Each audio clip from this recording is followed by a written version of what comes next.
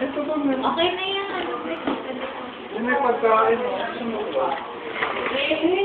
Thank you. Kailangan gusto mo? Sige po, salamat. Hindi na. Gusto ko na. Yun na yun. Si Ana, gahanap mo. Ano? No, wala na akong loan. Wala na. Wala na.